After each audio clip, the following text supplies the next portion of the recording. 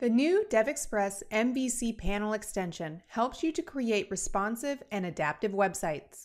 The new MVC panel extension is a container for other extensions as well as HTML content. Here I have an existing ASP.NET MVC web application with content. The default index view contains a DevExpress menu extension that's populated with several menu items and HTML content. Let's take a look at this MVC website in the browser. Take a look at the menu. Once we start scrolling the page down, the menu is no longer visible. Let's make the menu stick to the top area so that it is always visible even if we scroll down the page. To make sure the menu is always visible, I can dock it to the top side of the browser screen using the panel extension. To add the panel extension, I right-click the page and select Insert DevExpress MVC extension item. In the wizard, I go to the Navigation and Layout section and select the panel extension.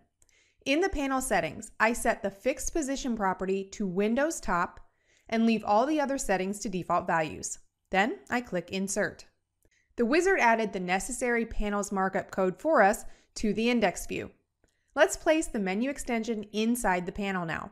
To do this, use the settings.setContent method. I'll move the div elements HTML code into the panel using the viewContext.writer object.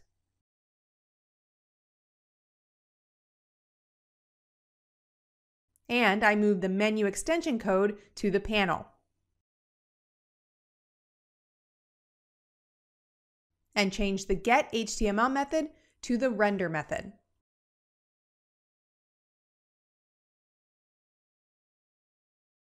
So here we have the panel fixed at the top of the browser screen with the menu extension in it.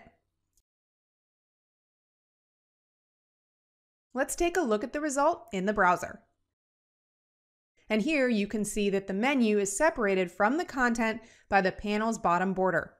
And when I scroll the page, the menu stays visible at the top of the page even when I scroll down. Another panel feature is the ability to collapse its content. To enable collapsing, I set the collapsible property to true. Let's take a look at the page in the browser. Here, the menu and the page header are hidden, and the panel is displayed with the hamburger button. This is the expand button that allows me to expand the collapsed panel content. The panel extension can collapse and expand automatically depending on the browser's screen size.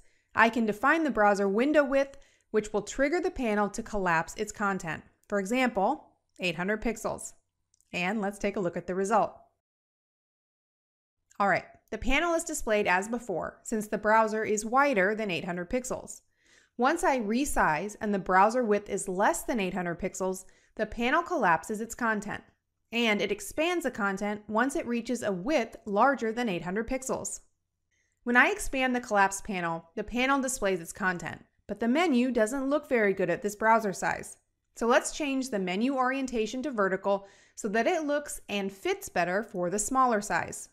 To do this, define the content for the expanded panel using the set expanded panel template content method.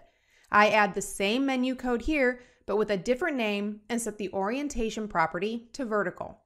So now I have the exact same menu, but this one will be displayed vertically and only when the panel is collapsed and the user expands the panel. When expanded, the panel displays the vertical menu, which looks great for smaller screens. And when the browser screen is large enough, then the panel returns to its regular state and displays the default horizontal menu. Pay close attention to the page header that's visible when the panel is in its original state. Note that when collapsed, the collapsed panel doesn't display the page header, but we can easily display this header even in the collapsed panel. To do that, I return to Visual Studio and define the content template for the expand bar that's displayed when the panel is collapsed. I define the expand bar content by passing the required string as a parameter for the corresponding method.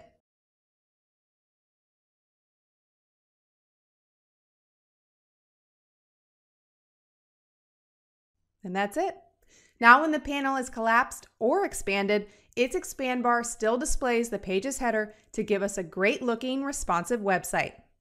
Thanks for watching and thank you for choosing DevExpress.